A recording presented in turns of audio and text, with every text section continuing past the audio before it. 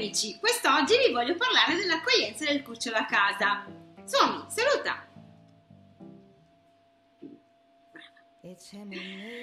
Innanzitutto vi voglio dire che prima di accogliere un cucciolo nella vostra famiglia, tutti i componenti della famiglia devono essere tutti, dico tutti, consapevoli. I canili sono già pieni di cani in attesa di una famiglia, non ne vogliamo altri. Soprattutto, se voi pensate di fare come regalo un cucciolo, state bene attenti. Questo potrebbe essere un regalo non gradito alla persona che lo sta per ricevere. Pertanto, tutti i componenti, anche chi eventualmente dovrebbe ricevere questo come regalo, in realtà il regalo se lo dovrà andare a prendere per conto suo se è un cuore che batte. Siete d'accordo con me, vero? Come dicevo, quest'oggi affronteremo l'argomento dell'accoglienza del cucciolo a casa. Prima di tutto bisognerà togliere tutti i pericoli che avrete intorno a casa vostra, dentro casa vostra, tutti i fili scoperti eventualmente che pendono dalle vostre prese piuttosto che eh, degli oggetti pericolosi o degli oggetti tossici. Tutto questo va assolutamente tolto dalla portata di mano dei vostri cuccioli, come per esempio io vi consiglio anche di acquistare un bello scaffale dove posare le vostre scarpe e le vostre ciabatte, piatto molto prelibato per i nostri cuccioli, assicurato. Quindi mi raccomando, sempre tutto eh, che sia eh, che non sia all'altezza del vostro, del vostro figliolo peloso. E certamente se nell'eventualità voi non vogliate che Uh, vada in una stanza piuttosto che in un'altra, cercate di confinare il vostro ambiente, cercate di far andare il vostro cucciolo a seconda di dove lo decidete voi, cioè Innanzitutto vi consiglio, dal momento in cui porterete il vostro cucciolo a casa, fatelo esplorare, fategli vedere quello che è la sua casa, fategli immagazzinare tutti, odori, tutti gli odori che per lui saranno nuovi, compresi i vostri, perché non vi conosce, non vi conosce, non vi avrà visto forse una volta, due al massimo, quando avete scelto, siete, vi siete recati in allevamento per scegliere il vostro cucciolo, magari vi siete recati un'altra volta in allevamento per andarlo a trovare, per vedere quanto è bello, quanto è cresciuto, però ecco, non è abbastanza per un cucciolo per far sì che vi conosca. E certamente è uno stress per il cucciolo cambiare ambiente, cambiare famiglia, pertanto io vi consiglio di non recintarlo non subito almeno, no? Ecco, quindi ritornando a quello che dicevo prima, fategli esplorare tutta la casa in modo che così conosca tutti gli ambienti e poi dal momento in cui eh, avrà compiuto questo gesto allora poi se poi per esempio non volete che vada nella stanza da letto dei vostri, fam- dei vostri figli piuttosto che nella vostra, allora vorrà dire che confinerete magari quello spazio. Mi raccomando le scale perché anche queste possono essere molto pericolose per il cucciolo, innanzitutto per una questione di salute, sia per il golden retriever che per il bassotto. Il golden retriever per quanto riguarda la displasia, perché purché geneticamente i cuccioli siano sani, ecco, e, e, però i fattori ambientali possono portare comunque il problema. Ricordatevi che anche per il bassotto ci sono dei problemi articolari, pertanto eh, anche per lui ci sono sicuramente degli accorgimenti, anche per quanto riguarda la schiena. Quindi il cifoticismo nel bassotto è molto diffuso e sicuramente il fattore ambientale quindi facendogli fare anche le scale, sicuramente può dare modo di insorgere questo problema. Quindi evitiamo, evitiamo veramente di eh, fare del male ai nostri amici, ma sono sicura che nessuno di voi vorrà il, vostro, il, il male del vostro cucciolo, sono certa. Altrimenti non avrete fatto una scelta così consapevole. I consigli per gli acquisti sono vari. Ricordatevi che il cucciolo rimane cucciolo per poco tempo, quindi non spendete una fortuna come primo corredo per il vostro cucciolo, per il vostro figliolo peloso. Prendete quello che è in quel momento lo stretto necessario eh, perché poi insomma la vita di un, di un cane insomma di media è 15 anni Pertanto eh, la cosa più giusta è sicuramente un investimento che non sia assolutamente esagerato all'inizio, tranne su, quas- su questi aspetti che sono per esempio la cuccia. Ecco, questo per esempio è un aspetto eh, che eh, valuterei come acquisto, un acquisto già a lungo termine.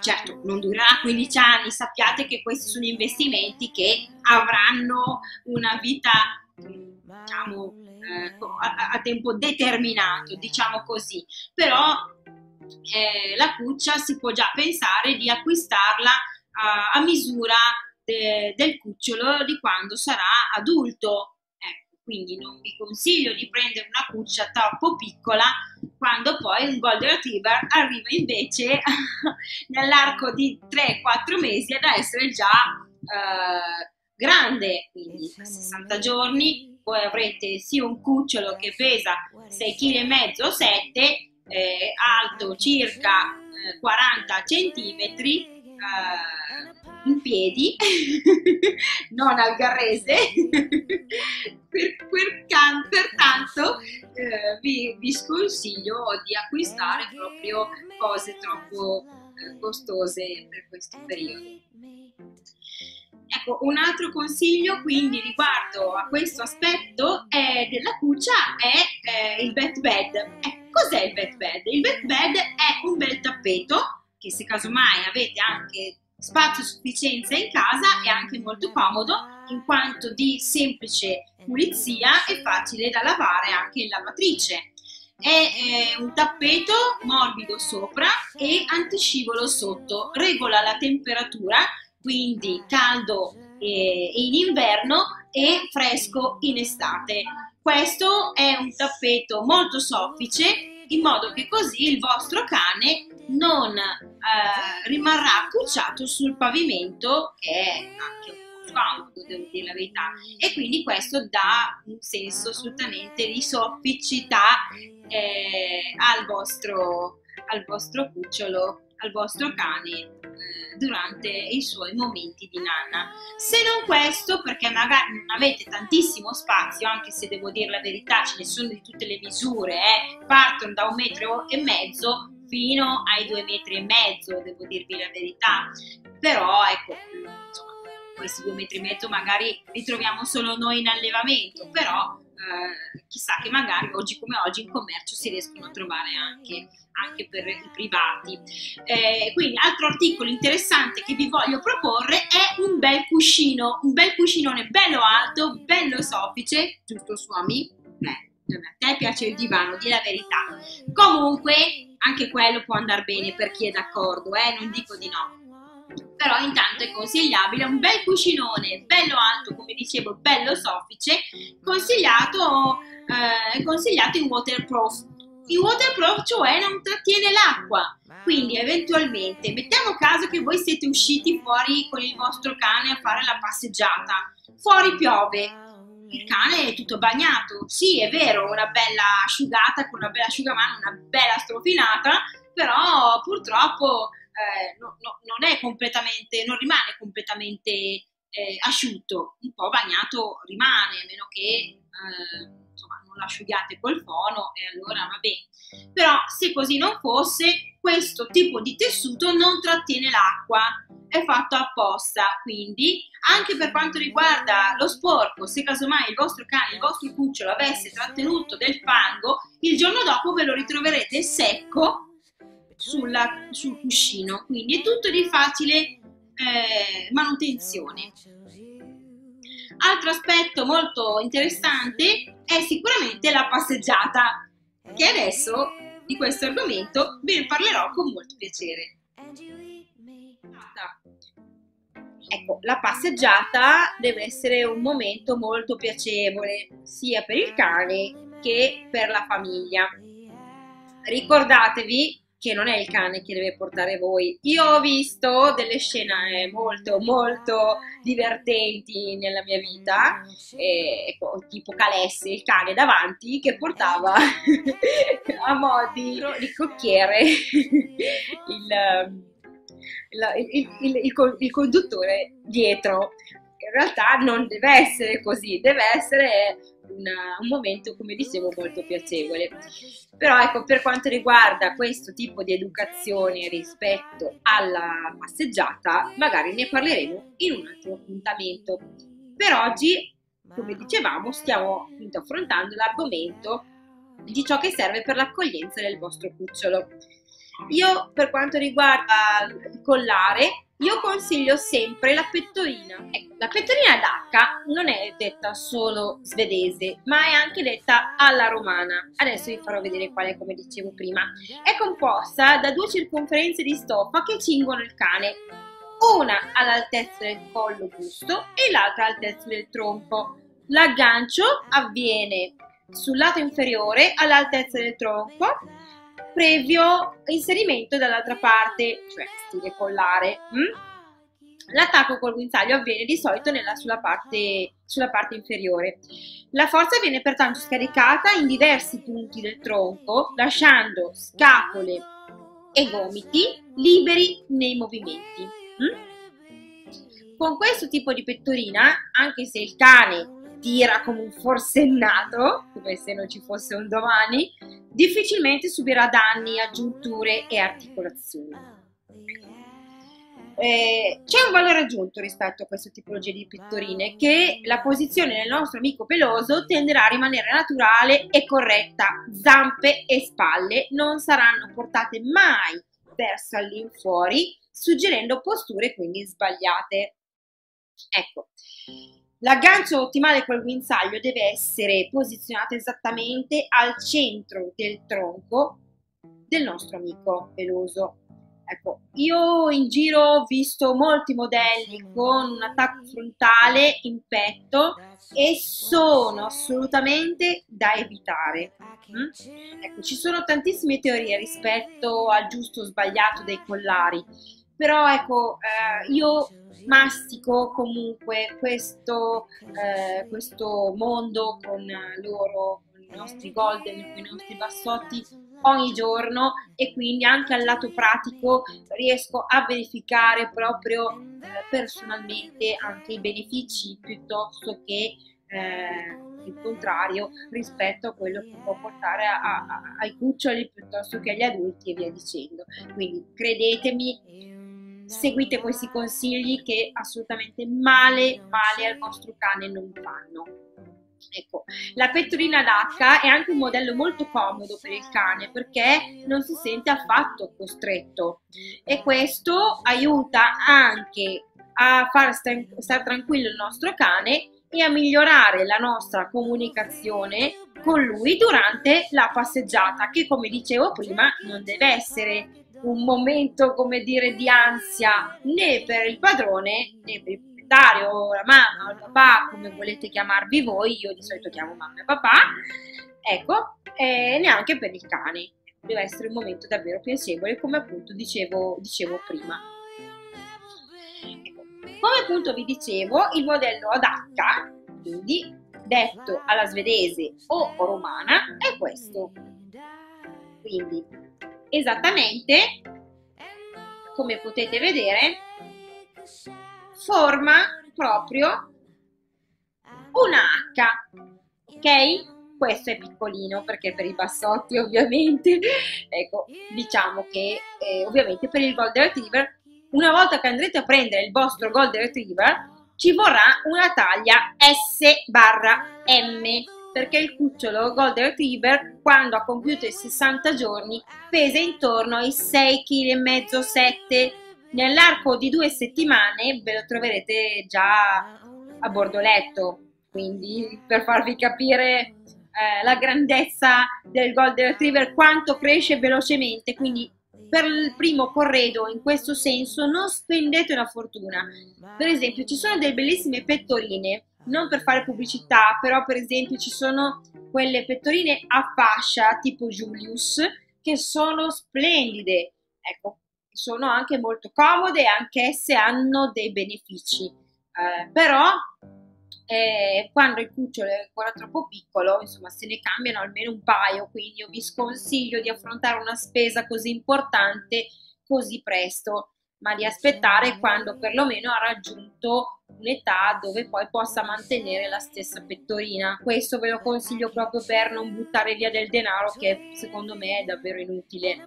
Ecco, quindi come potete vedere questa è una pettorina ad H, come appunto dicevo prima, la cosa importante è che il, um, l'aggancio sia proprio dalla parte centrale del collo, quindi sul vedete? Ecco, è molto importante, come dicevo prima, questo aspetto.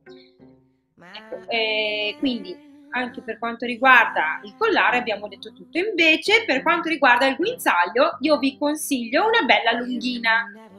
Perché? La lunghina sicuramente è un elemento che viene utilizzato molto in addestramento, ma eh, utilizzato anche durante la passeggiata può rendere il cane anche un po' più libero rispetto a quello che potrebbe essere con un guinzaglio classico, quindi corto, 100 cm, 105, quelli classici sostanzialmente. Invece le lunghine arrivano anche a una lunghezza di 2,10 m, 2,20 m, con eh, più anelli i quali servono appunto per agganciare il moschettone a secondo della lunghezza eh, per la quale vogliamo tenere il nostro cucciolo. Quindi nel momento in cui per esempio passeggiamo in città, allora a quel punto terremo il guinzaglio un po' più corto, quindi agganceremo il moschettone all'anello più in basso, così che il guinzaglio rimanga corto.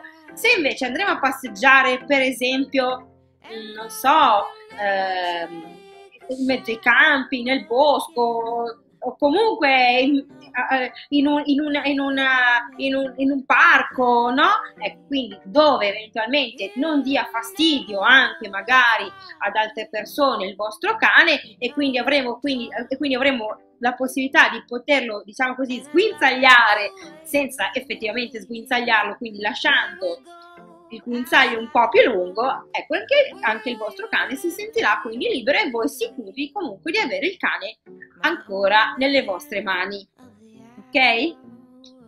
Questo intanto è per quanto riguarda la passeggiata. Il momento della pipì.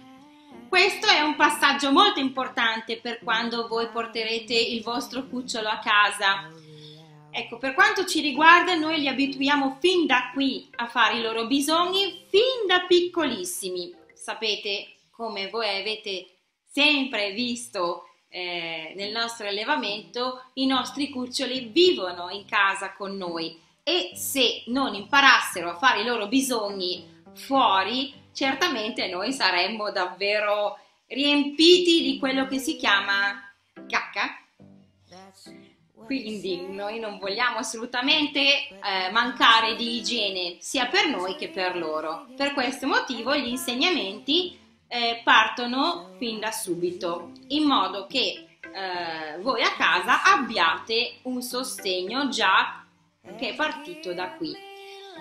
E come proseguire questo sostegno? È semplice. Come un neonato, quando è piccolissimo, chiede di, di mangiare il suo latte ogni due ore, due ore e mezzo se tira di più. Lo stesso anche i nostri cuccioli hanno bisogno di fare i loro bisogni più o meno ogni questo tempo. Quindi voi state ben attenti, dopo che avrà mangiato il suo pasto, spesso e volentieri dovrà fare subito il suo bisogno eh, dipende anche dal, dal, dal, cucciolo in realtà. Ci sono cuccioli che subito dopo il pasto hanno subito bisogno di eh, fare il, il, i propri bisogni, un po' come un conduttore diretto, consumando e producendo in realtà. Quindi non produttore consumatore ma consumatore produttore. no dai, non voglio eh, sembrare banale, però ci sono invece altri cuccioli che piuttosto eh, di essere abituati in questo modo, ehm, prima fanno la nanna, quindi mangiano, si diventano cappottati, KO proprio eh, tecnico per la pappa e poi subito come si svegliano hanno subito bisogno di uscire a fare la pipì. Perciò state ben attenti a questi segnali. Se dopo aver mangiato il cucciolo comincia ad, ad annusare in giro dappertutto, e questo significa che sta cercando dove andare a fare il suo bisognino. Quindi voi cosa farete? Voi con la pettorina che avrete già tenuto addosso il vostro cucciolo perché come andrete a casa io vi consiglio di tenergliela addosso almeno per una settimana e sapre, sappiate che si gratterà sempre con questa pettorina addosso, non perché gli darà fastidio, ma perché è un senso di stress per lui. Quindi con questa pettorina che lui avrà già indossato, voi lo prenderete e lo porterete subito o in giardino o fuori a fare la passeggiata. Io vi consiglio sempre fuori a fare la passeggiata proprio perché eh, sì, il giardino è comodo per tanti aspetti, però è vero anche che andare a svagarsi con il proprio cucciolo, il proprio figliolo peloso, è sempre eh, un aiuto anche per il morale e per, eh, il, per, per il quotidiano dei nostri cucciolotti in modo da farli insomma provare delle esperienze anche diverse, farli sentire odori diversi. È vero che il giardino magari appena arrivati a casa i suoi odori non li ha e quindi è tutto nuovo, però con l'andare del tempo i suoi, i suoi odori eh, nel giardino ci saranno e quindi insomma facciamogli fare esperienze nuove. Il parco, mi raccomando, le aree cani io le sconsiglio vivamente. È vero che magari voi che abitate a Milano eh, avete poco spazio verde in, mm, nella, in città e le aree cani molto probabilmente è proprio l'unica cosa che avete per portare il cane a passeggio. Però sappiate che è sempre una situazione abbastanza rischiosa in quanto noi non conosciamo l'iter igienico-sanitario dei, degli altri cani che visitano l'area eh, cani e pertanto possono anche essere pieni di zecche per esempio o di pulci. Quindi non essere stati eh, supportati con un antiparassitario e questi questi parassiti, come per esempio possono essere anche dei parassiti intestinali, che quindi defecando rilasciano poi eh, le uova anche nel terreno, per esempio. Insomma, tutti questi aspetti poi ce li possiamo portare a casa benissimo con il nostro cucciolotto una volta che veniamo via dall'area cani. Pertanto, per questi motivi che sono sempre fattori salutari, io vi sconsiglio proprio questo, questa tipologia di passeggiata. Piuttosto, piuttosto il marciapiede, ragazzi, piuttosto un bel sacchetto per raccogliere le peci del vostro cane, del vostro cucciolotto. Mi raccomando, munitevi sempre di roll, sacchettini e via dicendo da tenere in borsa perché l'educazione dei nostri cuccioli, dei nostri figlioli pelosi non dipende da loro, dipende da noi. Quindi se loro sono educati è perché lo saremo noi. Quindi piuttosto il marciapiede e piuttosto eh, la raccolta dopo, ma non l'area cani. Invece un altro eh, articolo che vi servirà, questo per tutto l'anno, mi raccomando, è proprio l'antiparassitario. Questo per proteggere da pulce, zecche, flebotomi e mosche cavalline i vostri e anche, scusate, e anche i pidocchi, hm? i vostri figlioli pelosi. Quindi, quali sono eh, gli antiparassitari che coprono tutti questi, eh, questi parassiti? Beh, in realtà ve ne sono tanti, eh, però a, que- a, voi la scelta rispetto a questa tipologia di antiparassitario non voglio fare pubblicità, casomai di questo ne parleremo quando verrete a trovarmi.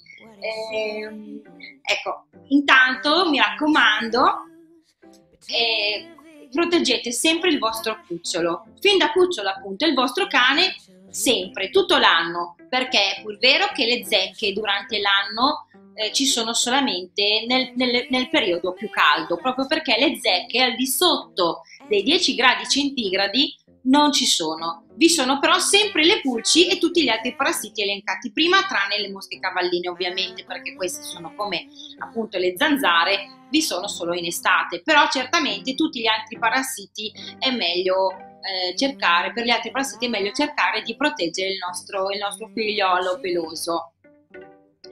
E, ecco, la frequenza rispetto a questi parassiti, eh, scusate, rispetto a questi antiparassitari, ogni mese quindi io vi consiglio ogni 30 giorni, segnatevelo da qualche parte. Oggi come oggi esistono le agende sul cellulare che suonano al momento in cui abbiamo bisogno eh, di ricordarci eh, un, un, particolare appuntamento. Questo è un appuntamento da doversi ricordare e pur particolare. Quindi mettiamo una, una, una bel promemoria mensile ogni 30 giorni, mi raccomando, cadenza 30 giorni, perché ogni mese non è sempre eh, di 31 giorni, febbraio per esempio no, però facciamo una via di mezzo, ogni 30 va benissimo, anche proprio, proprio perché il principio attivo nostri, dei, del, dell'antiparassitario eh, ovviamente perde della sua efficacia più avanti si va. E quindi certo è che non bisogna neanche eh, somministrarlo troppo precocemente grazie al fattore che perde la sua efficacia, perché a quel punto potrebbe invece dare delle problematiche differenti. Nel prossimo argomento parleremo invece del bagnetto. Quanto è frequente fare il bagnetto ai nostri cani? Cosa si, si deve usare per fare il bagnetto ai nostri cani? Quali sono i prodotti migliori? E per spazzolarlo cosa possiamo utilizzare? Ma si spazzola spesso il Golden Retriever? E il passotto? Adesso vi farò anche presente di questi argomenti. Io e Sansone vi vogliamo spiegare con quale frequenza si possono lavare i nostri piccoli amici a quattro zampe è vero che eh, il lavaggio è un'attività molto delicata, che però con qualche accorgimento può anche essere un momento piacevole sia per i nostri piccoli figlioli pelosi sia per noi. Quindi ricordiamoci che eh, deve essere sempre un momento di eh, calma sia per i nostri cuccioli che per i nostri cani che per noi.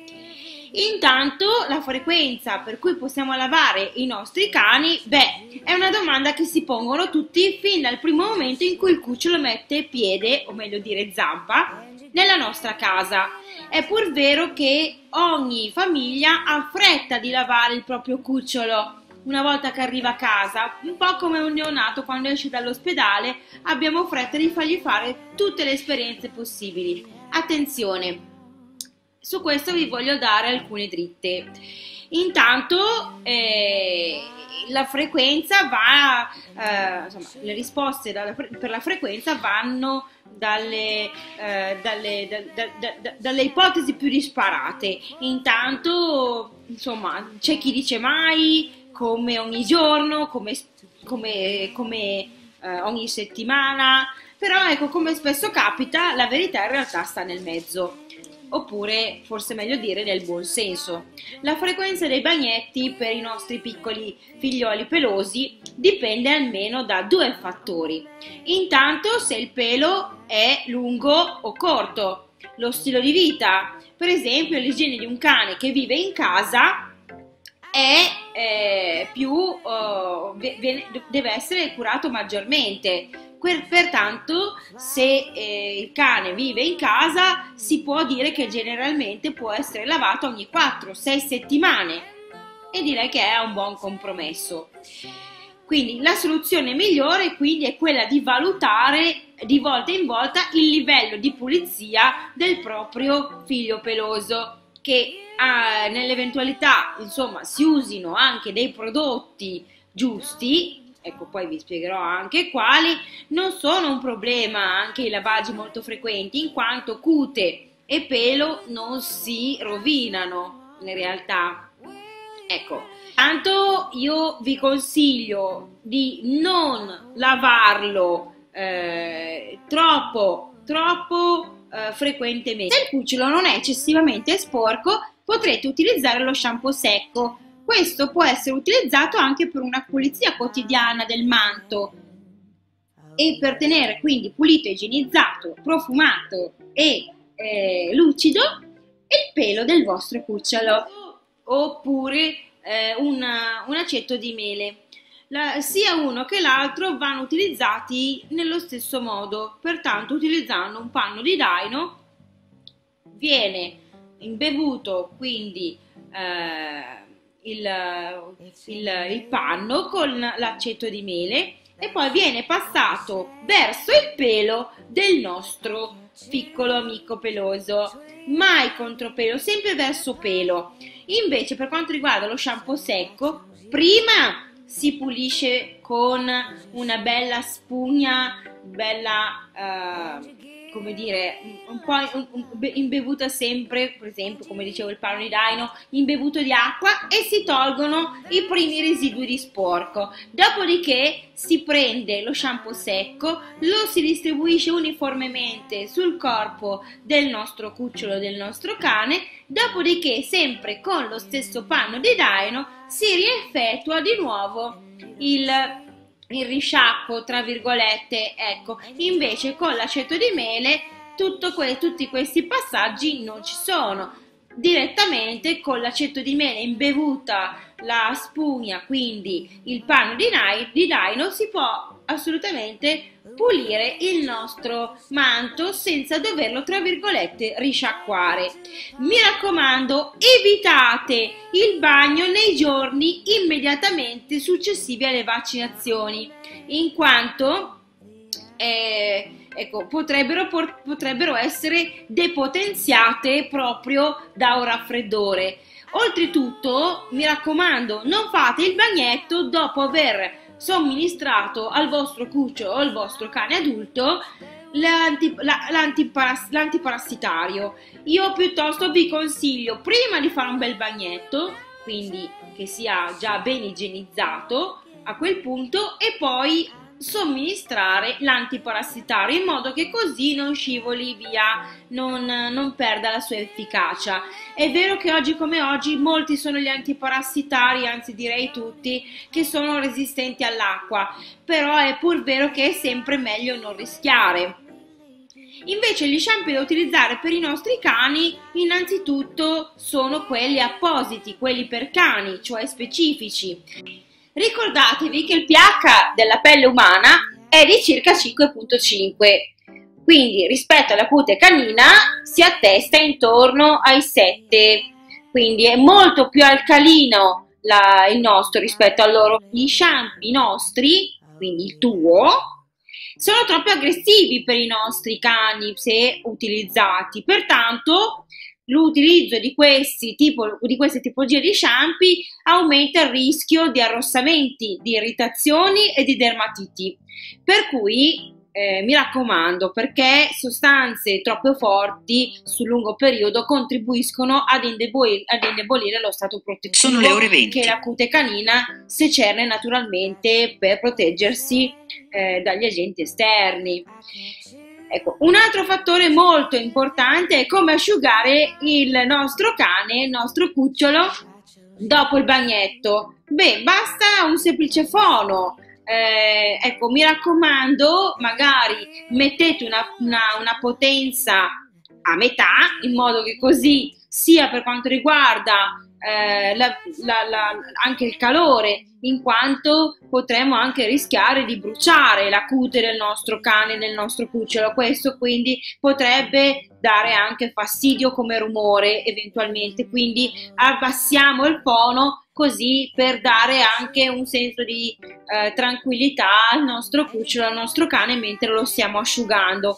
Quindi per, eh, per il nostro bagnetto utilizziamo questi strumenti che sono una bella spugna per, per pulire bene il pelo, per eh, togliergli tutti i residui di sporco, una bella, una bella spazzola, un cotone idrofilo e eh, un olio minerale. Ecco, l'olio minerale si utilizza anche prima del bagnetto come la spazzola, questa proprio per sciogliere tutti i nodi che sono in superficie e sotto nel sottopelo. Quindi come un balsamo questo aiuta questo olio minerale a sciogliere proprio i nodi. Quindi useremo la spazzola prima del bagnetto e dopo il bagnetto. Vi do anche questo consiglio rispetto a, a, a, al, al, lavaggio anche delle orecchie. Io vi consiglio, prima di tutto, se potete, è meglio utilizzare un batuffolo di cotone per proteggere il padiglione auricolare. Quindi farete in questo modo, farete una bella pallina di, eh, di cotone, la infilerete dentro le orecchie del vostro cane in modo che così l'acqua non penetri all'interno. Se proprio così non fosse, o comunque un po' di acqua magari gli è entrata, perché succede, ci mancherebbe, magari si è spostato il cotone, allora prenderete un pezzo di cotone idrofilo, lo avvolgerete sul vostro dito indice e pulirete il padiglione auricolare fino, non fino in fondo, mi raccomando, solo l'esterno, mi raccomando, state bene attenti. Ecco, um, Un'altra cosa molto importante è la temperatura dell'acqua. La temperatura dell'acqua deve essere eh, nella stessa temperatura corporea dei nostri cani, che è intorno ai 38 gradi e mezzo centigradi. Mi raccomando, non troppo calda e neanche troppo fredda rispetto a queste temperature. Eh, la, l'altezza dell'acqua non deve essere neanche troppo, eh, va benissimo all'altezza del, delle, del, de, delle, zampe in sostanza, quindi eh, in modo da coprire fino all'inizio del bacino, ok? Quindi eh, sotto la pancia sostanzialmente. Mm? Mi raccomando, evitate anche accuratamente, anche vi prego, di fargli finire il sapone negli occhi. Quindi eh, cercate di eh, prendere con delicatezza anche il musino quando laverete il vostro cane, il vostro cucciolo. Ecco, eh, io un altro, un altro suggerimento che vi posso dare è sicuramente il, la pulizia degli occhi quando si vuole fare una pulizia, non dico quotidiana, ma quasi. Quindi eh, quando si vogliono pulire gli occhi del nostro cane, del nostro cucciolo, si prende sempre un bel cotone idrofilo, si fa bollire una bella camomilla, proprio come per noi esseri umani, e si imbe- imbevendo appunto il nostro cotone idrofilo, con la camomilla che ovviamente si sarà anche raffreddata e intiepidita, soprattutto intiepidita più che raffreddata, allora a quel punto la passeremo intorno agli occhietti del nostro cagnolino. Ecco, mi raccomando, pulite sempre bene l'angolo mediale dell'occhio dove che appunto si formano le secrezioni oculari, dove che appunto si seccano, queste vengono via molto facilmente. Un altro accorgimento molto importante, mi raccomando, non pulite mai all'interno dell'occhio. Prima di tutto non serve e poi certamente rischiereste solamente di dare fastidio o fare male al vostro piccolo figliolo peloso. Una domanda che mi viene posta spesso è: ma ai nostri cani piace fare il bagnetto? È un momento piacevole per loro o è un momento a cui dà fastidio? Beh, allora la mia risposta è questa. Di sicuro il primo approccio con il bagnetto è un po' traumatico per un cane, è, è, normale, però è consigliabile abituarlo fin da piccolo. Per quanto mi riguarda i nostri golden, io vi posso garantire che non hanno nessuna paura dell'acqua in quanto pensate, noi li portiamo sempre in luoghi dove, dove, c'è davvero tanta tanta acqua e loro già che la vedono da lontano vorrebbero essere già dentro, ci, ci si vorrebbero già tuffare, pensate. Quindi munitevi di sicuro di vaschetta per l'estate, di piscina, proprio perché anche i nostri cuccioli sono abituati proprio al contatto con l'acqua, gli piace davvero tantissimo, quindi state tranquilli su questo lato e preparatevi su questo aspetto. E, ehm, ecco, ovviamente, eh, come dicevo, è anche però mh, mm, una, un aiuto, quindi il fattore che noi abitiamo da, già da qui e quindi un aiuto perché si, si, si dà una, un input già da piccoli. Per chi invece ancora eh, non, non, ha fatto questo tipo di operazione, mi raccomando, potete cominciare già da adesso. Eh, se eventualmente questa operazione non è stata eseguita nell'allevamento dove avete, ehm, dove avete diciamo, preso il vostro cucciolo, ecco, incominciate a farlo voi. Ovviamente eh, come dicevo prima, deve essere un'operazione che deve essere eseguita tutta con calma, concedendogli dei momenti di gioco e magari anche di gratificazione. Quindi alla fine del lavaggio io vi consiglio di gratificarlo con qualche croccantino, con qualche snack.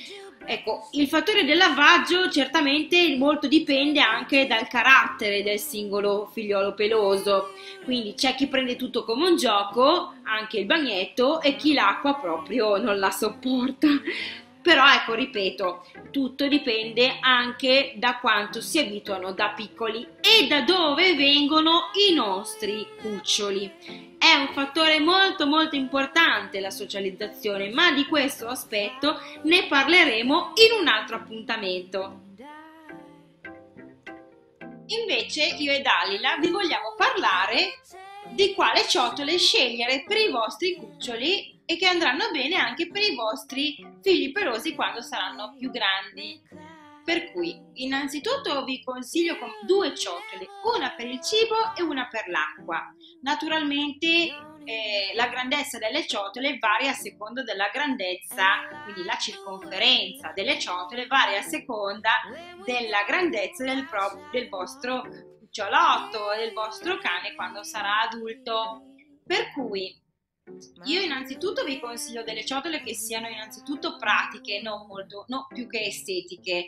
Quindi eh, bandiamo la plastica, che comunque sappiamo bene tutti che è pur sempre una, un materiale chimico e quindi a lungo andare con il deterioramento rilascia anche delle sostanze che possono essere cancerogene. Per cui utilizziamo piuttosto delle ciotole in acciaio inox di facile pulizia, si possono lavare anche in lavastoviglie e sono di facile, di, asci- di facile asciugatura, non arrugginiscono, quindi mi raccomando, attenzione perché in commercio vi sono anche quelle di alluminio e invece queste arrugginiscono. Io però vi vorrei consigliare un altro, eh, un altro articolo che è molto importante secondo me, lo utilizziamo anche noi in allevamento con i nostri cuccioli, i nostri cani adulti, e cioè sarebbe il, l'alzaciotole. Cos'è l'alzaciotole? L'alzaciotole è un supporto, una base che è sollevata da terra, supporta proprio due ciotole sospendendole da terra, in modo che il cane sia più alla, sia proprio all'altezza della ciotola rispetto al, al suo musetto e in questo modo possiamo evitare la torsione dello stomaco, per esempio, che è una problematica molto diffusa che porta, che porta alla morte da lì a pochi minuti, se non che anche per i cani anziani. È una, è una questione che può essere molto comoda, quanto per l'artrosi, per esempio, oppure per i cani anziani, oppure per i cani di taglia grande, appunto come il Golden Retriever. Tu no. E, ehm, quindi anche per i cani un po' più vecchietti, che magari, che magari si dovrebbero chinare fino a terra per mangiare, in realtà in questo modo è un sollievo non indifferente. Ecco. La torsione gastrica, come abbiamo appunto detto in precedenza, è un problema molto grave e eh, tra l'altro eh, il cane mangiando troppo velocemente provoca anche flatulenza e aria nello stomaco, pertanto eh, anche questo può portare a coliche e spasmi. Per, fortunatamente però esiste una soluzione a tutti questi aspetti, cioè esiste proprio una particolare ciotola per cani che è la ciotola anti-ingozzamento. Io ve la consiglio anche per i bassotti perché anche loro sono molto molto voraci quindi io per i bassotti vi consiglierei proprio questa ciotola che ha un principio di funzionamento molto semplice, cioè la, ciotola, la forma della ciotola comprende proprio degli ostacoli, no? Quindi impediscono proprio fisicamente al cane di mangiare troppo in fretta, dato che per raggiungere il cibo impiegherà un po' più tempo. Purtroppo eh, non è facile trovarne di materiali che non siano diversi dalla plastica, però sappiate che il fattore di non trovarlo di plastica io la considero una delle priorità ulteriori a questo, in modo per questo proprio per come vi ho detto prima, la plastica è pur sempre un materiale chimico. Comunque valutate voi. Noi consigliamo sempre il bene per i nostri cuccioli. Se invece il tuo bassotto o comunque eh, se il tuo cucciolo non è eh, un cucciolo molto vorace, ci sono anche delle ciotole adatte ai cani di razza con le orecchie lunghe, quindi ci sono delle ciotole un po' più alte da terra in modo che così eh, non si bagnino per esempio nell'acqua, no? Dal momento in cui la ciotola eh, la, la, la, riempiamo un po' di meno, quindi l'acqua, per esempio se il cane mette le orecchie dentro, dentro la ciotola non, non, si bagnano completamente, magari si bagneranno un pochino, però eh, diciamo che è abbastanza sufficiente per poter far sì che il nostro bastottino mangi tranquillamente e beva tranquillamente senza doversi sporcare o bagnare. Mi raccomando, acqua sempre fresca, sempre, bisogna sempre cambiarla spesso, eh, in modo che così non ristagni, perché il ristagnamento dell'acqua può comunque portare anche delle parassitosi intestinali eventuali e eh, per evitarlo appunto sostituitela spesso durante la giornata, sempre acqua fresca durante l'estate, quindi sostituitela sempre in, che non sia eh, gelata, nel senso che non abbia, insomma, non metteteli nel ghiaccio perché ho sentito anche persone che per esempio gli mettono il ghiaccio dentro l'acqua nella ciotola pensando che possa dare beneficio per rinfrescare il nostro cucciolo, il nostro, il nostro figliolo peloso. In realtà possiamo invece rischiare delle problematiche che eh, siano neanche tanto indifferenti. Un altro accessorio che potrebbe esservi utile è la ciotola portatile, quindi la ciotola da viaggio. Anche per quando verrete a prendere i vostri cuccioli qui all'allevamento Slavonita, mi raccomando, munitevi di ciotola da viaggio e anche di borraccia da viaggio per il vostro cucciolo, il vostro, il vostro figliolo peloso lo utilizzerà anche quando sarà grande. Quindi esistono delle ciotole pieghevoli, si, si spiegano eh, all'uso quindi poi si ripongono molto facilmente e molto semplicemente e anche le, le borracce sono proprio come delle bottigliette che si riempiono come una normale bottiglietta e, e si uh, aprono a 90 gradi quindi dal momento in cui l'acqua viene aperta la parte di fondo si riempie di acqua appunto diventando una ciotola un'altra domanda che mi viene posta spesso eh, riguarda proprio l'alimentazione quindi è proprio di questo argomento che vi voglio parlare. Le domande che mi vengono poste sempre sono, sem- sono queste. Ma eh, quanto, quanto cibo gli devo mettere nella ciotola al nostro figlio peloso? Quante volte al giorno? In, di, in qual, quale, di quale quantità?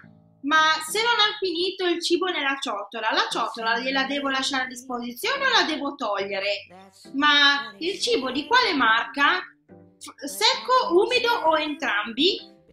Ecco, di tutti questi aspetti vi voglio iniziare a dire che bisogna variare la dieta, quindi con la proteina della carne e la proteina del pesce. Quindi abituate il cane a mangiare queste due tipologie di proteine in quanto eh, lasciare la stessa proteina tutto l'anno non è un bene perché alla prima variazione comunque avrà dei problemi e questo intanto è un primo perché. Il secondo è questo, perché bisogna imparare ad adattare la dieta in base al periodo dell'anno, quindi se fa freddo o se fa caldo e a secondo anche dell'attività fisica che fa il cane, quindi o in inverno o in periodi di intensa attività vanno bene i cibi molto proteici.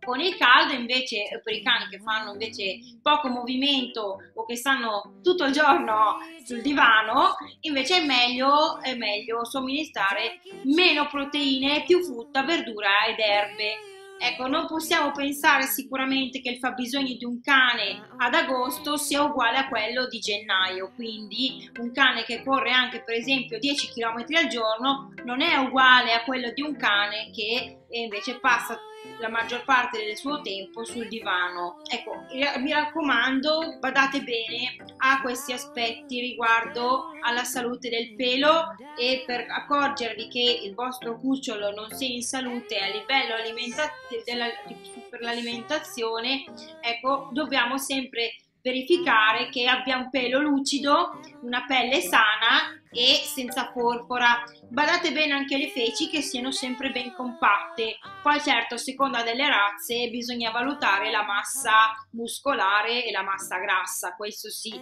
Però ecco, non abbiate timore a variare le crocchette durante l'anno quindi eh, le crocchette tra l'altro se sono di buona qualità non creano alcun problema. Però l'aspetto fondamentale è proprio la sostituzione della proteina in estate e in inverno. Quindi mi raccomando in inverno proteina della carne e in estate la proteina del pesce. Proprio perché in estate dando poi la, la, proteina della carne, il cane già è affaticato dal caldo. Proponendogli la carne si sentirà più appesantito, invece con il pesce rimane più fresco e, e quindi di più eh, facile eh, digeribilità e di più gradimento. La proteina della carne viene proposta in inverno proprio per aiutare il nostro figliolo peloso a ripararsi dal freddo. Quindi il fattore che richieda più cibo nel periodo invernale è proprio perché il suo organismo richiede maggiore energia per aumentare quello strato adiposo che è sottocutaneo e la lunghezza del suo pelo. Sappiate che anche i nostri figlioli pelosi, come noi e come altri mammiferi, hanno una zona detta di benessere termico. Per il nostro amico a quattro zampe questa si colloca tra i 15 e i 25 gradi, quindi hanno proprio bisogno di rimanere al calduccio. Per i nostri bassotti, difatti, io consiglio per l'inverno, oltre alla, al, al, sostegno dell'alimentazione, un ulteriore sostegno che è il cappottino. Oltre a questo eh, aspetto dell'alimentazione, vi voglio dire che ci sono tantissime marche, molte differenti, svariate rispetto ai cibi per i nostri amici pelosi, però non tutti sono uguali. Eh, non fidatevi delle marche, non perché secondo voi quella è una marca troppo costosa, allora significa che sia la più buona. Certo, neanche quella che è la meno costosa, Pertanto anche il cibo di basso costo, ovviamente evitatelo, ci mancherebbe di basso costo, non considero proprio che sia di buona qualità. Come cosa scegliere per i nostri amici pelosi? Secco o umido? Allora, innanzitutto io consiglio il secco, poi vi spiegherò anche altro. Innanzitutto il cibo umido è come se per esempio tu facessi bollire una una coscia di pollo, no? Per esempio, e eh, una volta che l'abbiamo fatta bollire buttiamo via il brodo, scartiamo tutto per cui tutto quello che ha rilasciato rispetto anche alle sue sostanze nutritive, le sue vitamine, tutto eccetera. E manteniamo la carne. La carne cosa facciamo? La frulliamo e eh, la somministriamo al nostro figliolo peloso. Lasciamo perdere poi tutto quello che ne viene inserito dentro, quindi verdura, eh, condrotina, vitamina, eccetera, eccetera. Però cosa abbiamo ottenuto? Che abbiamo lasciato, abbiamo buttato via comunque la parte più buona per il nostro cucciolo, per il nostro figliolo peloso. Quindi umido no, assolutamente no eh, non vi sono tutte le sostanze nutritive necessarie per l'accrescimento ponderale del nostro figliolo peloso. Quindi scegliamo i croccantini, che invece sono un alimento assolutamente completo, non gli manca assolutamente nulla, il procedimento di lavorazione è differente in quanto la carne all'origine viene disidratata, quindi essiccata, quindi è carne pur sempre fresca, ma la lavorazione è differente, quindi mantiene tutte le sue sostanze nutritive all'interno e vi, tu, vi sono quindi tutte le, le vitamine necessarie eh, per un, eh, un apporto vitaminico eh, necessario per un crescimento ponderale adeguato. E mi raccomando, come dicevo prima, non badate alle marche, bensì guardate sempre la composizione analitica sul retro del sacco e gli ingredienti. In questi vi deve essere sempre scritta la carne, la proteina della carne, la proteina del pesce, a secondo del tipo di proteina che avete scelto in quel momento per il vostro figliolo peloso, in prima voce. Cioè, se leggerete per esempio agnello 30%, per prima cosa significa che questa crocchetta è stata utilizzata in principal modo la proteina della carne. Attenzione, se al posto di questo ingrediente leggerete mais e la percentuale come appunto l'avete letta per la carne, attenzione, questo deve essere un campanello d'allarme. L'ingrediente principale per creare questa crocchetta è stato il mais. Non stiamo dando da mangiare a delle galline, stiamo dando da mangiare ai nostri figlioli pelosi che sono carnivori, quindi necessitano di carne. Il mais aiuta a gonfiare, a far sì che ingrassino e eh, fa parte degli zuccheri complessi per cui è di facile digeribilità e quindi anche questo senso come noi esseri umani avremmo, avrebbe sempre fame e quindi avendo sempre più fame aiuta quindi ad ingrassare sempre di più e più facilmente. Quindi ci troveremmo un figliolo peloso grasso ma non nutrito adeguatamente. Oltre a questo fattore pertanto del mais il mais ricordatevi che dobbiamo quindi leggerlo nella composizione analitica verso la terza o quarta voce così come il glutine di mais questi due ingredienti sono molto importanti, che, eh, è molto importante che siano letti sempre eh, più in là rispetto a quello che leggiamo per prima cosa. E l'apporto vitaminico che dobbiamo considerare è, è sempre per, sia per i cuccioli sia per il nostro figliolo peloso adulto eh, badate bene che sia sempre intorno tra il 25 e il 30%, questa è la percentuale adeguata eh, della proteina contenuta all'interno del nostro croccantino. E un altro aspetto molto importante da non sottovalutare quando si legge la, la, la composizione analitica dei nostri sacchi, eh, delle, dei nostri croccantini, sarebbero le ceneri gregge. Che cosa sono? Ecco, praticamente sono gli scarti che sono stati utilizzati quando c'è stata la macerazione della, della carcassa nel, del povero animaletto. Eh, questo, eh, ecco, questi solitamente dovrebbero essere privati di quelli che sono le piume, eh, i becchi, le unghie, eh, le, ecco, tutti i denti, le ossa, eh, purtroppo eh, non, spesso e volentieri capita che eh, non tutti questi scarti nel procedimento vengano, ehm, vengano appunto scartati. Ahimè, spesso e volentieri nel procedimento di lavorazione questi rimangono.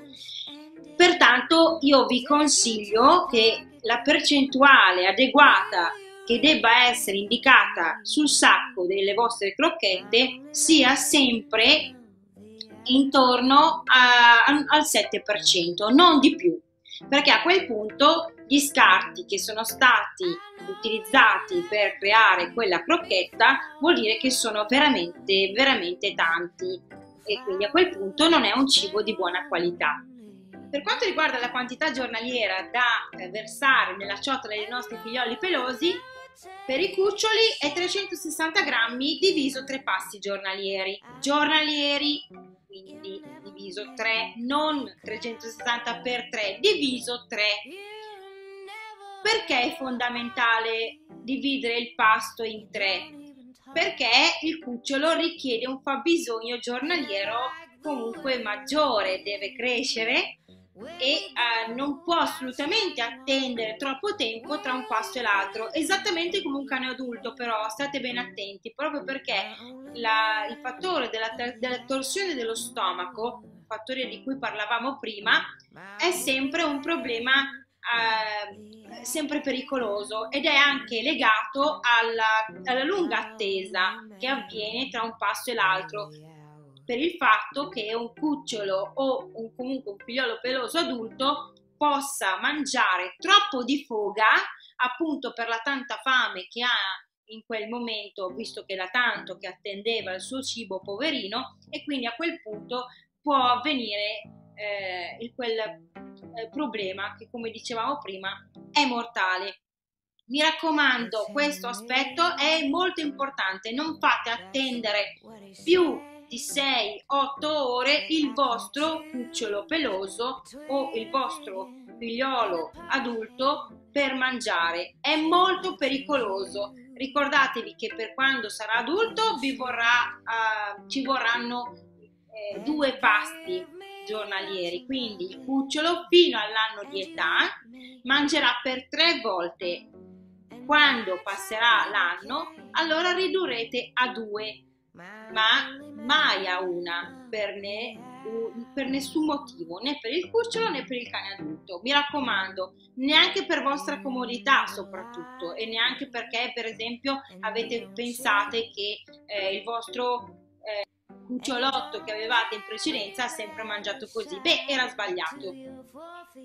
Per cui, ricapitolando, sì agli ossi, tanti ossi, no ai spuntini fuori pasto, non vanno bene, anche perché abituare il cucciolo a spuntini fuori pasto vuol dire come un bambino non puoi far, non poterlo far mangiare quando deve mangiare. Invece, mi raccomando, gli orari sono fondamentali. Il cane è, una, un, quadru, è un quadrupede molto abitudinario, quindi diamo delle regole che sono sempre utili e fondamentali per la vita quotidiana per tutti noi, sia per, nostri, per i nostri figlioli pelosi che per noi un altro aspetto è assolutamente un no ai dolci. Quindi anche i cani è vero che sono golosi, però dandogli caramelle, dolci o gelati assolutamente non va bene. No eh, al miele, no al cioccolato. Ebbene, non ci crederete perché è vero che sono delle grandissime golosità per noi umani, ma sono del veleno invece per loro. Quindi mai somministrare due, eh, questi due alimenti ai nostri amici pelosi perché appunto sono, eh, sono davvero molto pericolosi. Anche non continuare a vaccinare il proprio cucciolo potrebbe essere un fattore pericoloso. Pertanto la, la, continuazione della profilassi che è stata iniziata in allevamento bisogna continuare a seguirla anche a casa. Quindi eh, richiamando la vaccinazione che noi abbiamo eseguito in allevamento all'età di circa 55 giorni, con una variabilità di circa 5 giorni, proprio perché questa è l'età giusta per fare la prima vaccinazione. Quindi non pensate che il vostro allevatore dove vi siete rivolti o se casomai vi, vi volete rivolgere al nostro allevamento e con molto piacere vi potremo aiutare assolutamente, non sarà stato assolutamente tirchio in questo senso, bensì ha fatto del bene al, al, al vostro cucciolo, perché in questo modo ha preferito eh, portare avanti le difese immunitarie che ha dato la mamma al cucciolo con il primo latte. Anche io sono molto d'accordo rispetto a questo senso, oltre ai protocolli che appunto vi sono eh, in, in, medicina per questo, per questo aspetto, proprio perché portando avanti il più possibile gli anticorpi naturali io lo considero assolutamente una, un aspetto molto eh, favorevole. Un altro aspetto che altrettanto eh, interessante è la vaccinazione contro la rabbia. Attenzione che il cucciolo non può essere vaccinato contro la rabbia prima dei tre mesi. Nell'eventualità eh, voi abitiate fuori dall'Italia e avrete la necessità di portare a casa il vostro cucciolo, sappiate che prima di portarlo a casa necessiterete di effettuare il vaccino contro la rabbia. Pertanto dovrete aspettare il novantesimo giorno compiuto del cucciolo per poter far sì che lo potrete portare a casa vostra con voi. Eh, un altro aspetto che è bensì importante nella vaccinazione è la leptospirosi canine. Questa tipologia di componente appunto all'interno del vaccino che compone i tre vaccini, quindi per il cimurro, per l'adenovirosi e per la parvovirosi. Vi sono quindi anche vaccini che compongono nell'insieme anche la leptospirosi. Se eventualmente così non fosse perché il vostro veterinario curante il vostro alleva- o il vostro allevamento ha deciso per un altro tipo di protocollo, a quel punto, dopo trascorsi pertanto i, i, i 21 giorni di cui parlavamo prima per il richiamo della trivalente, si richiamerà un ulteriore vaccino solo ed esclusivamente per la leptospirosi. La leptospirosi si contrae con eh, il morso di un topo o eh, il cane o il cucciolo mangiando per esempio le feci di un, di un, topo. Il topo porta quindi la leptospirosi. Io la consiglio vivamente, specialmente per chi abita magari eh, in campagna o in città eh, dove vi sono magari eh, presenti questo tipo di animaletti. Per esempio, chi abita a Milano, io ho sentito che vicino all'Ambro purtroppo vi sono i topi e magari portando il cane al parco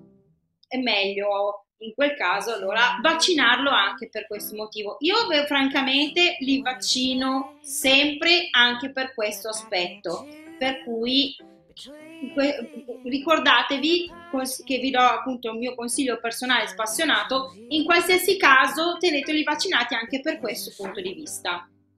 Parlandovi di un altro aspetto igienico-sanitario è proprio la lesmaniosi. La lesmaniosi è causata da un parassita che è la Lesmania infantum che è trasmessa dalla puntura degli insetti come flebotomi, detti anche pappatacci, che in Italia appunto vi sono generalmente tra maggio e ottobre. Però è pur vero che oramai l'estate è diventata un po' ballerina, il caldo non si sa eh, fino a quanto dura e da quando inizia.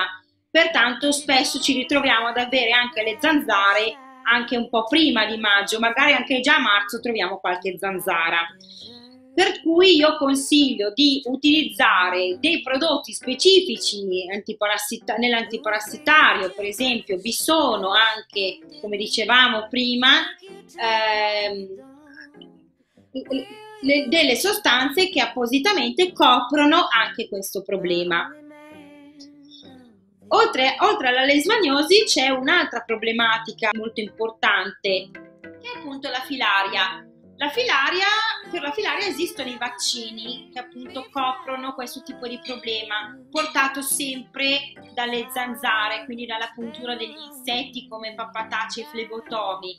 Ehm, io vi consiglio di utilizzare sì eventualmente eh, il vaccino che però che, che è detto vaccino ma tra virgolette perché non è un vaccino ma è un'iniezione contenente una molecola che viene rilasciata ogni 30 giorni per 6 mesi.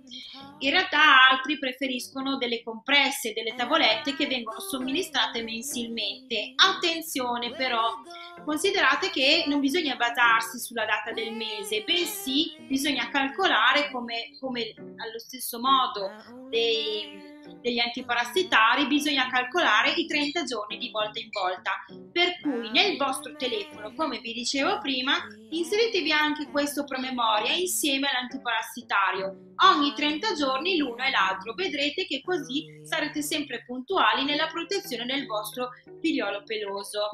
Farmaci specifici in commercio ce ne sono di diversi, hanno diversi tipi di principi attivi tra cui qualcuno nello specifico è attivo proprio eh, nei vermi che si creano nell'intestino dei nostri amici pelosi. E io vi dico la verità, tra i tanti io preferisco sempre consigliare questo, proprio perché eh, oltre alla prevenzione della filarosi cardiopolmonare del nostro figliolo peloso, elimina anche le forme larvali de, de, della Dirofilaria imitis, appunto nome eh, reale della, eh, della filarosi cardiopolmonare. Quindi eh, mi raccomando, eh, somministratelo sempre ad intervalli mensili di 30 giorni. Ricordatevi perché è un aspetto molto importante, appunto come dicevamo prima per l'antiparassitario, eh, i mesi non cadono tutti di 30 giorni, per cui questo è un aspetto molto importante da ricordare e mettervi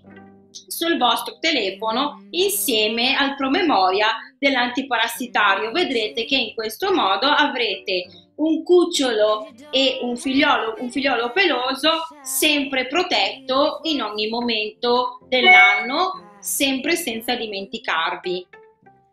Benissimo, adesso siete pronti ad accogliere al meglio il vostro figliolo peloso. Date i consigli dati insieme a Dalila, Sansone e Suomi. Innanzitutto vi voglio dare un suggerimento per quando poi porterete fisicamente il vostro cucciolo a casa. Mi raccomando allo stress. Non lo so che non è facile perché voi non vedete l'ora di portare a casa il vostro cucciolo, di farlo conoscere a tutte le persone che vi circondano, amici, parenti, vicini di casa. No, aspettate, perché questo vuol dire stressare il vostro cucciolo fate così. Una volta che arriverete a casa, lasciatelo tranquillo, come appunto dicevamo all'inizio, fatelo esplorare, ma solo con la sua famiglia. Agenti esterni? No. Aspettiamo un paio di settimane almeno per fargli conoscere altre persone, proprio perché questi sono aspetti che possono dare eh, come dicevamo, dello stress al vostro cucciolo proprio perché ha cambiato famiglia, come dicevamo all'inizio, e ha cambiato ambiente, non vi conosce, quindi aspettate che prima conosca voi. Una volta che ha conosciuto voi, allora cominceremo a fargli conoscere anche altre persone. Non possiamo mettere un cucciolo in mezzo alla folla senza che sa ancora qual è la sua mamma e il suo papà. Per lui in quel momento sono tutti uguali. Siete d'accordo con me? Perfetto. Anche perché lo stress può incorrere a delle problematiche intestinali, quindi diarroiche.